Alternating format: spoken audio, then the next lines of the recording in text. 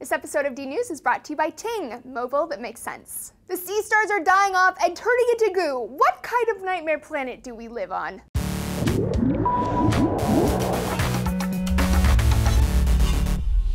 Hey everyone, Laci Green here for D News. One of my first experiences that I can remember with the ocean involved a huge wall of sea stars. Guys, it was magical. So it's slightly traumatizing to hear that some kind of plague is sweeping the sea star population.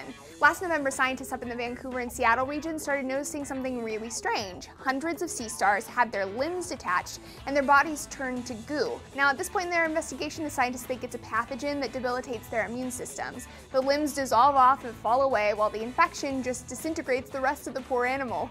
Since November, the disease has spread down the coast as far south as Mexico, and they've even seen it in Maine and New Jersey. In some populations, up to 95% of the sea stars have died off.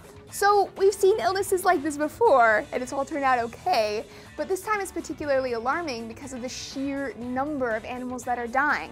Plus, it's been almost a year and, well, they still don't know what exactly the disease is or how it's happening. The fact that it's on two separate coasts with no connection to each other is strange. How the heck is this thing spreading?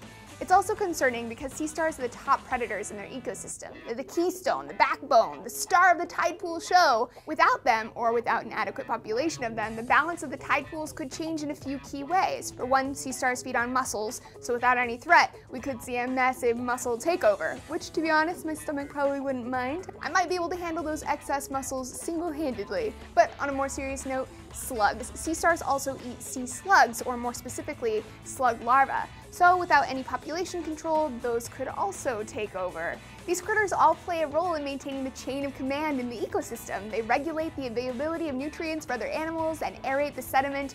It's probably not the end of the world as we know it, but hey, it is significant. The fact that multiple species of animals are dying off without explanation is kind of a big deal especially given what we know about humans' contribution to polluting our oceans. In recent years, we're responsible for all kinds of toxins that wreak unknowable havoc on marine life. But hey, we can't be sure that there's a connection there quite yet. Thanks for joining me for DNews, everyone. We'll be back soon with more science updates.